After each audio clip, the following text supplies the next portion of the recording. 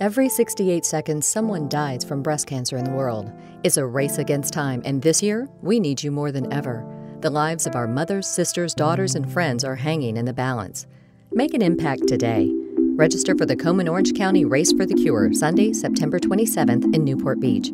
Organize a team, fundraise, and join 30,000 women, men, families, and survivors. Every step you take helps raise vital funds for the fight against breast cancer. Register today at komenoc.org.